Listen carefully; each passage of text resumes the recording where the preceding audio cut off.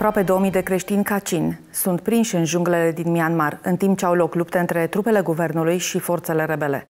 Un lider baptist a spus că oamenii se confruntă cu lipsă de apă și mâncare și nu au destule medicamente pentru a îngriji bolnavii și răniții. Grupul Kachin este un grup minoritar în Myanmar. Timp de decenii s-au luptat cu guvernul din Myanmar pentru autonomie. În jur de o mie de oameni din Kachin au fost evacuați din casele lor de la începerea luptelor în 2011.